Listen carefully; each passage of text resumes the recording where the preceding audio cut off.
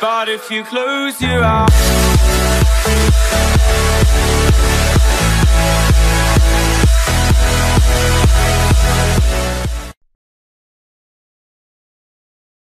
GTA 6 release date rumors, updates, will the game's release be delayed for GTA 5 DLCs? With Grand Theft Auto 5, GTA, released about three years ago, die-hard fans of the popular open-world action-adventure video game series are left reeling for its sequel, GTA 6. However, despite the endless speculation of GTA's fans, there has been no official announcement for the release of GTA 6 except for speculations about the sequel being released in October 2018. According to reports, GTA 6 seems to be a work in progress and will most likely be out in 2018. However, the release of the game might further be delayed due to Rockstar Games, its game developer and publisher, changing their priority to making new downloadable contents, DLCs, for GTA 5 instead of making progress on the sequel.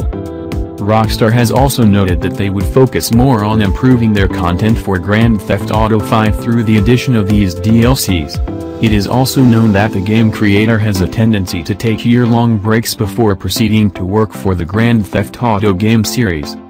Another probable cause of its delay lies with the possible integration of Grand Theft Auto 6 for high-end gaming technologies like the PlayStation VR, other virtual gaming platforms, and probably also platforms for augmented reality.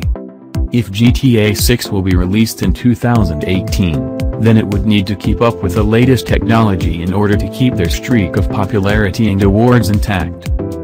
The Grand Theft Auto 6 will probably be available on PlayStation 4, Xbox 360 and PC. The sequel is expected to have more innovative features like enhanced resolutions for gameplay animations, more missions to unlock and an even bigger game world for players to explore.